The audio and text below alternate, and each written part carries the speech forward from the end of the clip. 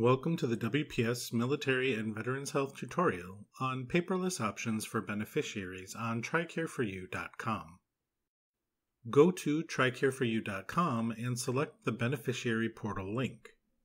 Then log into your user account.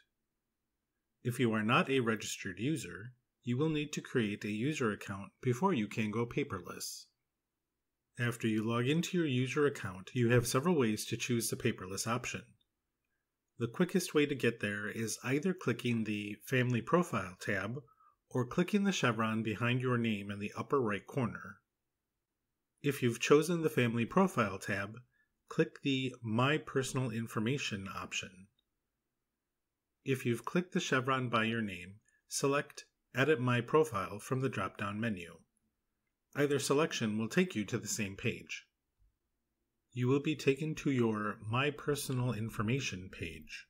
Scroll down this page to the Paperless Options section. In this area, you will be able to select the way in which you would like to receive your explanations of benefits and correspondence from TRICARE for Life. Be sure to read the Please Note section completely before making your selection. If you select the No option, you will continue to receive your EOBs and correspondence via postal mail. You will still have complete access to all your claims, EOBs, and profile information online. Once you click the No button, click the Save button in the lower right corner to save your selection. If you select the Yes option, you will begin receiving nearly all your communications by email you will receive email notifications and also have complete access to all your claims, EOBs, and profile information online. There is not an option for both email notifications and paper.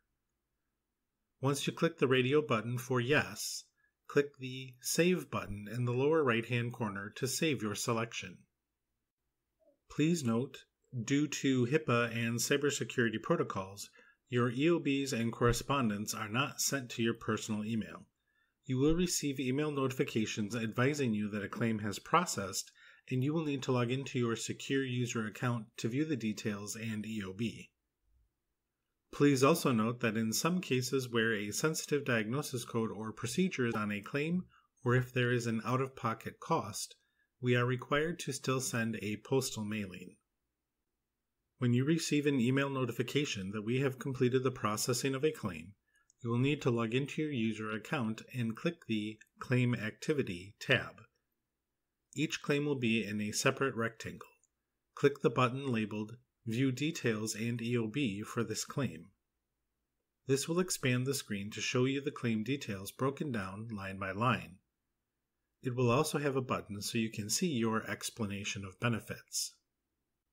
Click on the View Claim Details button. The claim will open, allowing you to see the overview, payment, and the individual charges listed below. You will need to scroll down to see the entire list of charges. You can also click the View the EOB button to see the EOB for that claim.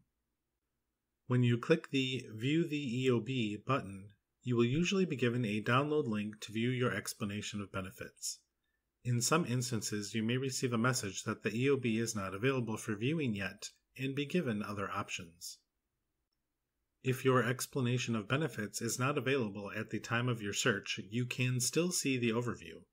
The overview will give you general information, including how the claim was processed, TRICARE's payment, and if you have any other out of pocket patient expenses.